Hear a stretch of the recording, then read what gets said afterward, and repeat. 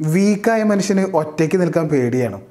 അവന്റെ ചിന്തയിൽ പോലും അവൻ ഒറ്റയ്ക്ക് നിൽക്കാൻ പേടിയാണ് അവിടെയും അവനൊരു കൂട്ടം വേണം. എല്ലാവരും സയൻസ് ഗ്രൂപ്പ് എടുക്കുമ്പോൾ അവനും സയൻസ് ഗ്രൂപ്പ് എടുക്കും. എല്ലാവരും മെഡിക്കൽ എൻട്രൻസ് കോച്ചിങ്ങിന് പോകുമ്പോൾ അവനും എൻട്രൻസ് കോച്ചിങ്ങിന് പോകും. എല്ലാവരും മതത്തിൽ വിശ്വസിക്കുമ്പോൾ അവനും മതവിശ്വാസിയാവും. സോഷ്യൽ മീഡിയയിലെ പുതിയ ട്രെൻഡിങ് ലിസ്റ്റിൽ നിരീശ്വരവാദികളുടെ ചാനലുകൾ വരുമ്പോൾ അത് കണ്ട് കണ്ട് അവനും നിരീശ്വരവാദം പ്രസംഗിക്കും. എന്തായാലും ഒരു കൂട്ടത്തോടൊപ്പം നിൽക്കണം ഒറ്റയ്ക്ക് വയ്യ. ഒരു കൂട്ടൊക്കെ വേണമെന്ന് പറഞ്ഞ് ചിലർ വിവാഹം കഴിക്കും.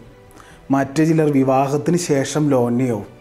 അതെങ്ങനെയാണെന്ന് പറഞ്ഞാൽ സ്നേഹമില്ലാത്തയിടത്ത് കൂടെ എത്ര പേരുണ്ടെങ്കിലും നമ്മൾ ഒറ്റയ്ക്ക് തന്നെയാണ് ലോൺലിയാണ്. എന്റെ ചെറുപ്പത്തിലൊരു കഥ പറയാം. എന്റെ ആ ഗ്രാമത്തിൽ ഏതാണ്ട് പത്തിരുപത്തഞ്ച് വർഷങ്ങൾക്ക് മുൻപ് അവിടുത്തെ സ്ത്രീകൾക്കൊരു ശീലമുണ്ടായിരുന്നു. സന്ധ്യാസമയത്ത് പാമ്പിന്റെ മണമുള്ള റബ്ബർ തോട്ടങ്ങളൊക്കെ കടന്ന് അവർ അയൽവക്ക വീടുകളിൽ പോയിട്ട് അവിടുത്തെ സ്ത്രീകളുമായിട്ട് സംസാരിച്ചിരിക്കും. എന്താണ് കാരണം എന്ന് നമ്മൾ ചോദിച്ചാൽ നമ്മൾ വിചാരിക്കും സ്നേഹമുള്ള അയൽവക്കക്കാർ സ്നേഹമുള്ള രണ്ട് സ്ത്രീകൾ സംസാരിക്കുന്നു എന്നൊക്കെ പ്രത്യക്ഷത്തിന് നമുക്ക് തോന്നും. പക്ഷേ നമ്മൾ ഒന്നും കൂടി ഒബ്സേർവ് ചെയ്താൽ നമുക്ക് മനസ്സിലാവുന്ന ഒരു കഥ എന്ന് പറഞ്ഞാൽ ഇവരുടെയൊക്കെ ഭർത്താക്കന്മാർ കടയിൽ സാധനങ്ങൾ വാങ്ങാൻ പോകും. പിന്നീട് ഭർത്താക്കന്മാർ അവരുടെ ഫണ്ണൊക്കെ സംസാരങ്ങളൊക്കെ കഴിഞ്ഞ് കുറച്ച് വൈകിയേ മടങ്ങും. അപ്പോൾ അതുവരെ അവർക്ക് വീട്ടിൽ ഒറ്റയ്ക്കിരിക്കാൻ ഒരു ഭയമാണ്. അതിനാണ് അയൽവക്കത്തെ വീട്ടിലേക്ക് സംസാരിക്കാൻ വരുന്നത്. അതാണ് ഈ സന്ധ്യാനേരത്തിന്റെ പ്രത്യേകത. പിന്നീട് സീരിയൽ ഭ്രമം സന്ധ്യകളെ എൻഗേജ് ചെയ്യിപ്പിക്കുമ്പോൾ അവിടെ അവർ ഒറ്റയ്ക്കാണെന്ന് അവർക്ക് തോന്നുന്നില്ല.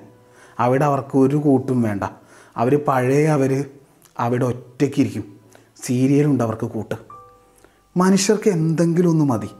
മനുഷ്യന് കൂടെ ഒരാളുണ്ടെന്ന തോന്നൽ തന്നെ മതി. ഞാൻ ഒറ്റയ്ക്കല്ല എന്നത് അവർക്ക് വലിയൊരു ആശ്വാസമാണ്. അതിനൊരർത്ഥത്തിൽ ആശ്വാസം നമുക്ക് പറയാൻ കഴിയില്ല. അതൊരു ഒളിച്ചോട്ടമാണ്. എന്തുകൊണ്ടാണ് മനുഷ്യർക്ക് ഈ ഒറ്റയ്ക്കിരിക്കാൻ ഒരു പേടി എന്ന് നിങ്ങൾ ചിന്തിച്ചിട്ടുണ്ടോ? മനുഷ്യൻ ഒറ്റയ്ക്കിരിക്കുമ്പോൾ പഴയകാല ചിന്തകൾ അവനെ പിന്തുടരും. ഭാവിയെക്കുറിച്ചുള്ള പല പല പേടികൾ അവനെ പിന്തുടരും. നെഗറ്റീവായ പല ചിന്തകൾ പല ഓർമ്മകൾ ഇതവനെ ഇട്ട് കുടയും. അപ്പോൾ അവന് കൂടെ ഒരാൾ വേണം. അവനിൽ നിന്ന് അവൻ ഒളിച്ചോടാൻ വേണ്ടിയിട്ട് ഒരാൾ വേണം. അവൻ പറയും മിണ്ടിയും പറഞ്ഞിരിക്കാൻ ഒരാൾ വേണ്ടേ എന്ന്. നമുക്കൊരാളെ കിട്ടുമ്പോൾ നല്ലൊരു ബന്ധം നമുക്ക് കിട്ടുമ്പോൾ നമ്മൾ ഭയങ്കര ഹാപ്പിയാവും അത് പാർട്ട്ണർ ആയിക്കോട്ടെ ഫ്രണ്ട് ആയിക്കോട്ടെ ആരും ആയിക്കോട്ടെ. നമ്മൾ ചിന്തിക്കും എന്നും ഇതിങ്ങനെ വേണം. എന്നും ഈ സന്തോഷം ഇങ്ങനെ നിലനിൽക്കണമെന്ന്. കൂടെ ആ നിമിഷം ഭയവും സ്റ്റാർട്ട് ചെയ്യും. ഈ ബന്ധം തകർന്നാലോ അയാൾ മരിച്ചു പോയാലോ ഭാവിയിൽ എന്താവും അങ്ങനെ ഇങ്ങനെ തീയിൽ ചവിട്ടി വേണം നമ്മൾ ആ സന്തോഷം എൻജോയ് ചെയ്യാൻ. പിന്നെ നമ്മൾ വിചാരിക്കും ഈ സന്തോഷം എന്നും ഇങ്ങനെ തന്നെ വേണം. ഇയാളുമായിട്ടുള്ള ആ ബന്ധം എന്നും ഇങ്ങനെ തന്നെ വേണം. ഹാപ്പി ആയിരിക്കണമെന്ന്. പക്ഷെ അത് നടക്കാത്ത കാര്യമാണ്. കാരണം ഈ പ്രകൃതിയുടെ ഒരു നിയമം തന്നെയാണ് മാറ്റം. എല്ലാം മാറും. കാലം മാറും ആളുകൾ മാറും എല്ലാം മാറും. മാറ്റം നിയമമാണ്. എന്നും ഈ ബന്ധവും എന്തും അങ്ങനെ തന്നെ നിൽക്കില്ല.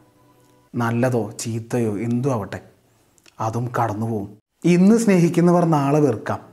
ഇന്ന് വെറുത്തവർ നാളെ സ്നേഹിക്കാം. ഇന്ന് കുറച്ച് സ്നേഹിക്കുന്നവർ നാളെ കുറേ സ്നേഹിക്കാം.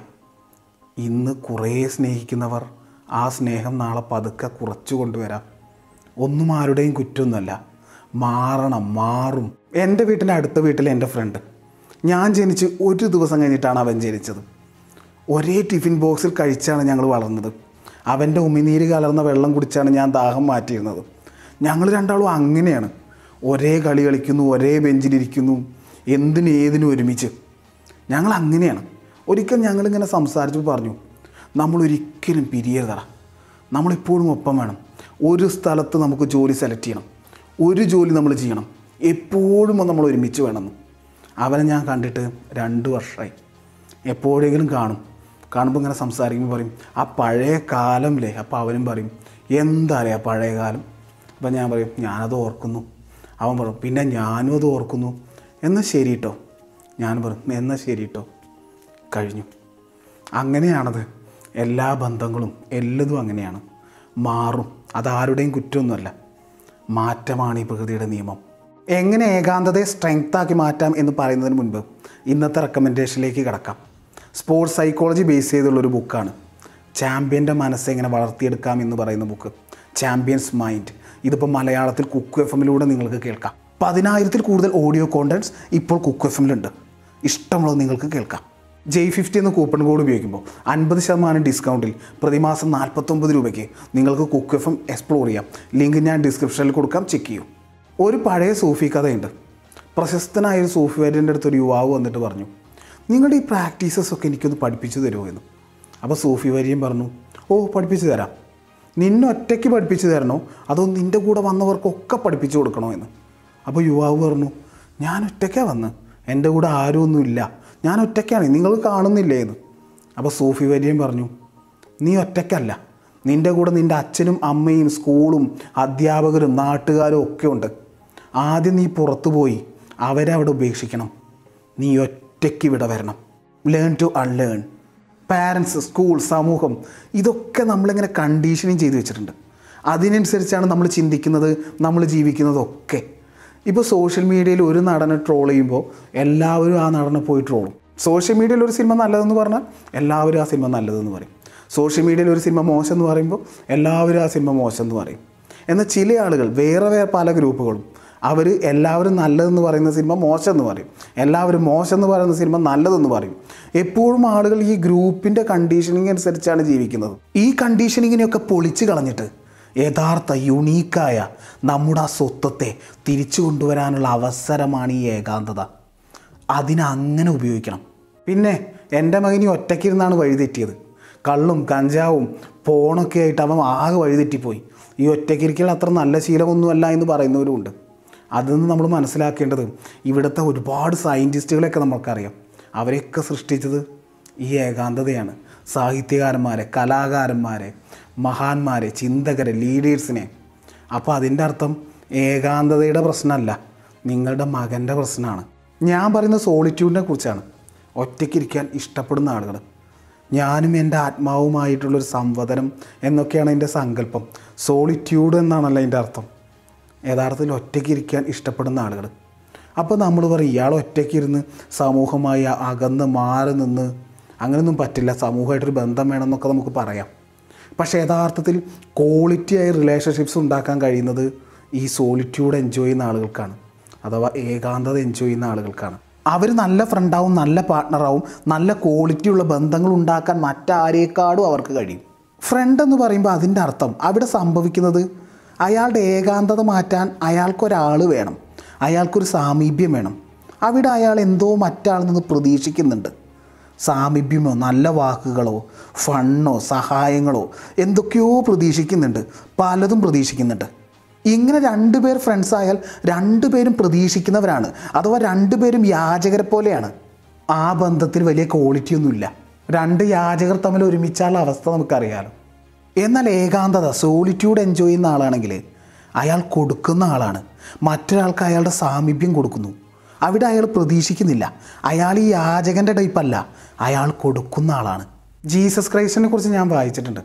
ജനങ്ങൾക്കിടയിൽ നിന്ന് കളഞ്ഞ ഊർജം വീണ്ടെടുക്കാൻ അദ്ദേഹം മലമുകളിലേക്ക് കയറി ഏകാന്തമായി പോയിരുന്നു എന്ന്. ഏകാന്തതയെ സ്നേഹിക്കുന്നവർ അവർ കൊടുക്കുന്നവരാണ്. ഞാൻ അഡിറ്റുകളുടെ കാര്യമല്ല പറഞ്ഞത്. ലീഡേഴ്സിനെ കുറിച്ചാണ്. ലീഡേഴ്സിന്റെ കാര്യമാണ് ഞാൻ പറഞ്ഞത്. പ്രവാചകനെക്കുറിച്ച് ഖലീൽ ജിബ്രാൻ പറഞ്ഞത് ഏകാന്തനായ യാത്രക്കാരൻ എന്നാണ് ആൾക്കൂട്ടത്തിനിടയിലും ചിലർ ഏകാന്തതയുടെ നിധികൾ ഇങ്ങനെ തേടും. ബുദ്ധനെ നിർമ്മിച്ചതും ഏകാന്തമായ ബോധിമര ചുവടുകളാണ്. ഇനി എങ്ങനെയാണ് ഒറ്റയ്ക്കിരിക്കുക എന്ന് പറയാം. ആ പ്രോസസ്സ് പറയാം. നിങ്ങൾ ഒറ്റയ്ക്കിരിക്കുന്നു അതിനെ സോളിറ്റ്യൂഡ് എന്നാണല്ലോ പറയുന്നത്. നമ്മൾ ഒറ്റയ്ക്കിരിക്കുമ്പോൾ നമുക്ക് വേറൊന്നും ചെയ്യാനില്ല. നമ്മൾ നമ്മളെ തന്നെ ഒബ്സേർവ് ചെയ്യണം. നമ്മുടെ ചിന്തകളെ ഒബ്സേർവ് ചെയ്യണം. ഒബ്സേർവ് മീൻസ് ചിന്തകൾ അറിയണം. പല പല ചിന്തകൾ നമ്മളിലൂടെ ഇങ്ങനെ കടന്നു പോകുന്നുണ്ട്. ചിന്തകൾ വരട്ടെ പോവട്ടെ പക്ഷെ നമ്മൾ അറിയുന്നുണ്ട്. അവിടെ തന്നെ അനാവശ്യമായ പല ചിന്തകളും അടങ്ങാൻ തുടങ്ങും. നമ്മൾ അറിയുന്നതോടുകൂടി ആ ചിന്ത അപ്രത്യക്ഷമാകും. അങ്ങനെ ചിന്തകൾ കുറയും അനാവശ്യമായ പല ചിന്തകൾ കുറയും നമ്മൾ ഫ്രഷ് എന്നാൽ വേണ്ട ചിന്തകൾ ഉണ്ടാവില്ല. ആ ചിന്തകൾക്ക് ക്വാളിറ്റി ഉണ്ടാവും പഴയതിനേക്കാൾ. നമ്മൾ ഫോക്കസ്ഡ് ആവും. നിങ്ങളെക്കുറിച്ച് നിങ്ങൾക്ക് തന്നെ. ഇങ്ങനെ നിങ്ങൾ ഒബ്സേർവ് ചെയ്യുന്തോറും പല പല പുതിയ കാര്യങ്ങൾ മനസ്സിലാവും. നിങ്ങളുടെ പ്ലസ് എന്താണ്? നിങ്ങളുടെ വീക്ക്നെസ് എന്താണ്? നിങ്ങൾ ഇതുവരെ അറിയാത്ത നിങ്ങളെ നിങ്ങൾ പതുക്കെ കാണാൻ തുടങ്ങും. നിങ്ങളിലെ നെഗറ്റീവായ അല്ലെങ്കിൽ നിങ്ങൾ വേണ്ട ഉപേക്ഷിക്കണമെന്ന് വിചാരിച്ച പലതും കൊഴിഞ്ഞു പോവും. സമൂഹം കണ്ടീഷനിങ് ചെയ്തു വെച്ച പലതും ഉണ്ടാവും. ഒക്കെ കൊഴിഞ്ഞു പോവും. പക്ഷെ ആദ്യമായിട്ട് നിങ്ങളൊന്ന് ഒറ്റയ്ക്ക് ഇരിക്കാൻ തുടങ്ങുമ്പോൾ സോളിറ്റ്യൂഡ് പ്രാക്ടീസ് ചെയ്യുമ്പോൾ ഇതുവരെ ഇല്ലാത്ത വണ്ണം കൊടുങ്കാറ്റ് പോലെ പല പല ചിന്തകൾ വരും. അതിന് കഴിഞ്ഞ വീഡിയോയിൽ ഞാൻ പറഞ്ഞ ആ ടിപ്പ് നിങ്ങൾക്ക് യൂസ് ചെയ്യാം. കഴിഞ്ഞ video how to control your thoughts എന്ന കഴിഞ്ഞ വീഡിയോ നിങ്ങൾക്ക് ചെക്ക് ചെയ്യാം. എന്താണ് പറഞ്ഞതെന്ന് പറഞ്ഞാൽ ഡിറ്റാച്ച്ഡ് ആയിക്കൊണ്ട് ആ ചിന്തയെ സമീപിക്കുക. ചിന്തകൾ വരട്ടെ പോട്ടെ. നിങ്ങൾ നിങ്ങളുടെ ഇമോഷൻ അവിടെ കൊടുക്കണ്ട. അത് വരട്ടെ പോട്ടെ. അത് അതിന്റെ ജോലിയാണ് എന്ന രീതിയിൽ നിങ്ങൾ ആ കൊടുങ്കാറ്റൊന്ന് ശമിക്കുന്നത് വരെ ഒന്ന് ശാന്തമായിരിക്കുക. അത് ആ തുടക്കത്തിലേ ബുദ്ധിമുട്ടുള്ളൂ.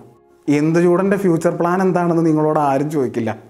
കാരണം നിങ്ങൾ ഒറ്റയ്ക്ക് ഇരിക്കുമ്പോൾ നിങ്ങളുടെ ഫ്യൂച്ചർ പ്ലാൻ എന്താണ് നിങ്ങൾ എന്താണ് ചെയ്യേണ്ടത് നിങ്ങളുടെ എയിം എന്താണ് എങ്ങനെ അങ്ങോട്ട് പോകാം അങ്ങനെ നിങ്ങളെക്കുറിച്ച് വളരെ കൃത്യമായ ഒരു ബ്ലൂ പ്രിന്റ് ഉണ്ടായി വരും ഉണ്ടാക്കാം. ചിന്തിക്കാൻ ഒരുപാട് ടൈം കിട്ടും. ഇപ്പോൾ ചിന്തിക്കാൻ നമ്മുടെ കയ്യിൽ ടൈമില്ല അനങ്ങിയാൽ നമ്മൾ ഫോൺ നോക്കില്ലേ? സ്വാഭാവികമാണ് എല്ലാവരും ചെയ്യുന്നതാണ്. ആരുടെയും കുറ്റമൊന്നുമല്ല സാഹചര്യമാണ്. ഓക്കെ പക്ഷേ ഒറ്റയ്ക്കിരിക്കുമ്പോൾ സോളിറ്റ്യൂഡ് പ്രാക്ടീസ് ചെയ്യുമ്പോൾ നമുക്ക് നമ്മുടെ കയ്യിൽ തന്നെ ആ കടിഞ്ഞാൻ കിട്ടും. ചുരുക്കത്തിൽ ആൾക്കൂട്ടങ്ങൾ എന്ന് പറയുമ്പോൾ വീക്കായ ആളുകളുടെ ഒരു കൂട്ടല്ലേ? അവർക്ക് സ്വന്തമായി പേരോ ഐഡന്റിറ്റിയോ ഒന്നുമില്ല. ജസ്റ്റ് ആൾക്കൂട്ടം അത്രയേ ഉള്ളൂ. നമ്മൾ ആൾക്കൂട്ടത്തിന്റെ നടുക്ക് നിൽക്കുമ്പോൾ ആ ആൾക്കൂട്ടത്തിന്റെ ഒരു ഏജന്റായിട്ടാണ് നമ്മുടെ മൈൻഡ് വർക്ക് ചെയ്യുന്നത്. അവരുടെ കണ്ടീഷനിങ്ങിനനുസരിച്ചാണ് നമ്മൾ മുൻപിലുള്ളവൻ എന്ത് വിളിച്ചാലും നമ്മൾ ഏറ്റു പറഞ്ഞ് അങ്ങനെ പോകുന്നത്. നമുക്കവിടെ ഐഡന്റിറ്റിയോ നമുക്ക് സ്വന്തമായിട്ടൊരു സ്വത്തൊന്നുമില്ല. അത് ശരിക്കും നമുക്ക് മനസ്സിലാവുന്നത് ഒരു രാഷ്ട്രീയ പാർട്ടിക്കാരനോട് ആ പാർട്ടിക്കെതിരെ എന്തെങ്കിലും പറഞ്ഞാൽ മതി. അവനത് അംഗീകരിക്കില്ല. അത് പലതാവാം എന്താവാം ന്യായം നമ്മുടെ ഭാഗത്താവാം എന്തും ആവാം. എന്താണെന്ന് പറഞ്ഞാൽ സത്യമൊന്നും അവിടെ വിഷയമല്ല. ഇതുപോലെ സമൂഹം നമ്മളിൽ ഏൽപ്പിച്ച നമ്മളെ കണ്ടീഷനിങ് ചെയ്തു വെച്ച പലതും അവിടെ കൊഴിഞ്ഞു വീഴും. അവിടെയാണ് അയാൾ യുണീക്കാവുന്നത് അതാണ് അയാളുടെ സ്വത്വം. അയാളൊരു അണിയോ ആൾക്കൂട്ടമൊന്നുമല്ല അയാളൊരു വ്യക്തിയാണ് ഒരു പേഴ്സണാണ് ഒരു ഇൻഡിവിജ്വലാണ് ഒരു ഐഡന്റിറ്റി ഉള്ള ഒരാളാണ്. യുണീക്കായ ഒരാളാണ്. അത് അയാൾ കാത്തു സൂക്ഷിക്കണം. ആൾക്കൂട്ടത്തിൽ നിൽക്കാം. പക്ഷേ നിങ്ങൾ അവരിൽ പെട്ടുപോകരുത്. ഈ ആളുകളെ കണ്ടോ? അവരാണ് എന്റെ ബലം എന്ന് പറയുന്നവരുണ്ട്. നമ്മൾ പൊതുവെ ചിന്തിക്കേണ്ട കാര്യം കാലം മാറും ആളുകൾ മാറും എല്ലാം മാറും. മാറ്റം. അതാണ് ഈ പ്രകൃതിയുടെ നിയമം. എല്ലാം മാറും. M K Jayadev.